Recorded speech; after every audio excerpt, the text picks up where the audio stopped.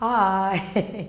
now, my dear, we're going to move on to a higher level of trigonometry, and that's bearings.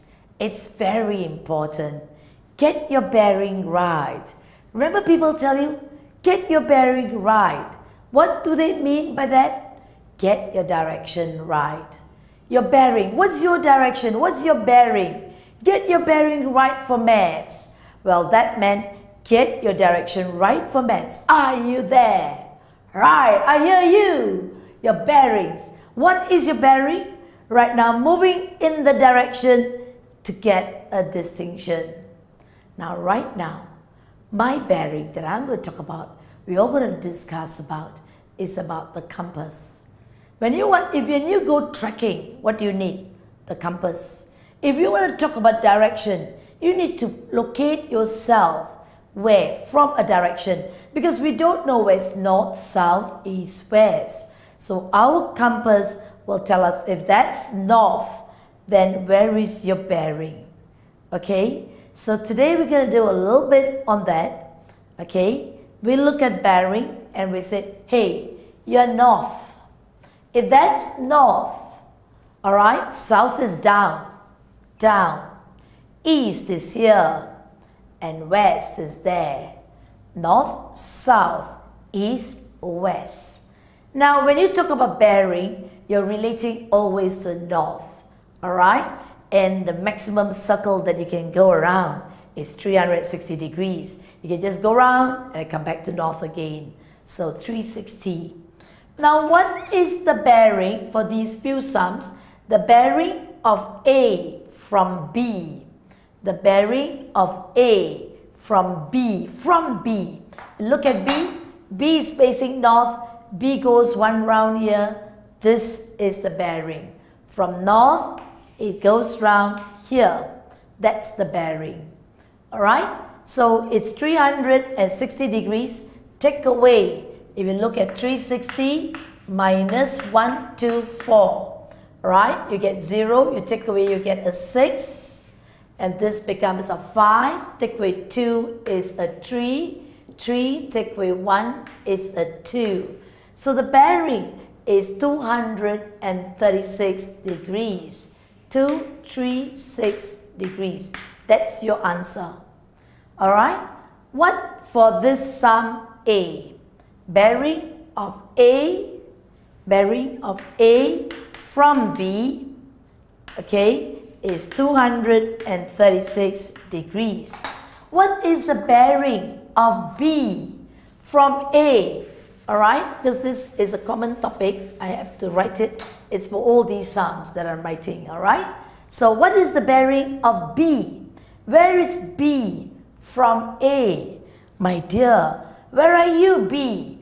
A, look at A, A, north, B is there. So north, where is B from A? Look at this angle. And if we have two parallel lines, this is parallel to this line, these two are called interior opposite angles. So this is, alright, if you look at it, 180 minus 124, you get a 56 degrees. So the bearing of B from A will be, you take it as 0, 5, 6 because the maximum angle is 360 degrees. You start from 0, 0, 56 degrees. So B is actually 56 degrees north. Alright, you look at it north of A. It's going this way. It's more of a northeast. So this is clearly indicative of it.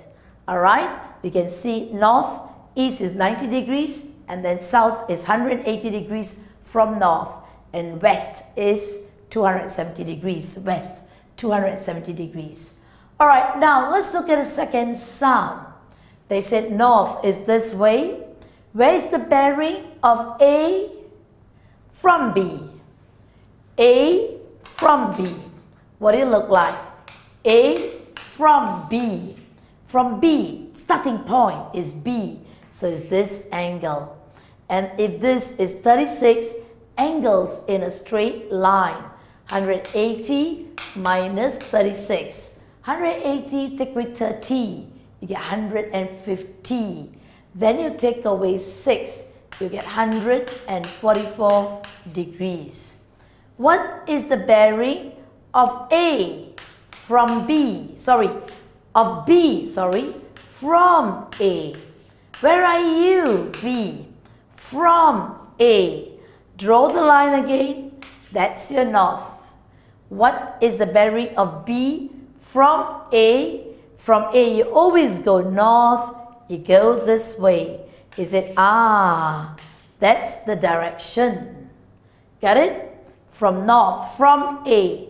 You go north, that's north, and then you go towards B.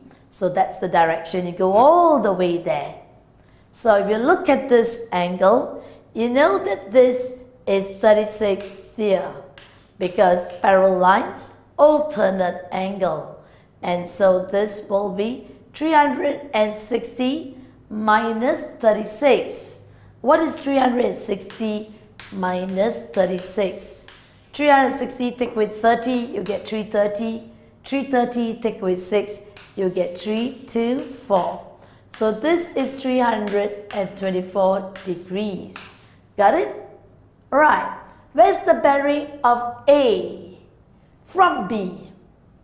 A. From B. Look at it carefully again. A. From B. You always go from north. Go around the whole thing and you come there. So the answer again, what will it be? A from B will be equal to A from B is this whole thing.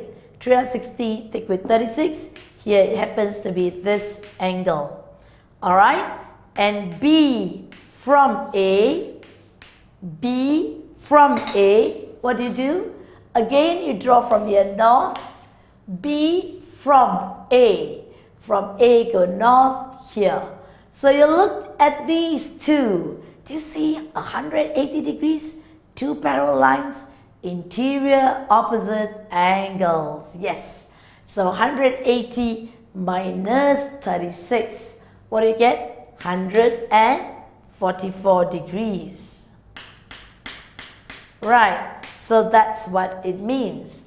Let's look at the sum. What is the bearing of A from B? From B. A from B. Are you okay?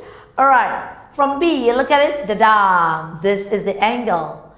So A from B, I just want to build up and understand this so that bearings will become a lot more easier. This angle up to here is 180 plus your 36, you get 216 degree.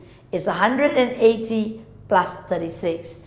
And your B from A, all right, these are things which is very important. B from A, you look at it again, B from A, all right, B from A, north. So you can see that these two angles are equal. It's 36 degrees. So you write it as 036 degree. That's how you do it. All right, getting the hang over there. Now let's look. North is going that way. Hey, north, where is A from B? Now we make, we tweak it. A from B. You look at it, a from B. The B is the starting point. Always from the north, go down. It's 180 minus 87 because it's a straight line. And 180 minus 87, can you tell me what is that? Well, 180 take away 80 is 100. 100 take away 7 will be 93 degrees. So the bearing is equal to 0, 9, 3 because the maximum angle is 360 degrees. We want to show that from 0, it moved 93 degrees. Alright, what is the bearing of B from A? What will it be? Bearing of B from A. Right, look at it again, my dear. The north is this way. You want to go all the way here. right up to here. The bearing of B from A, north, east, south, and then it moves on further.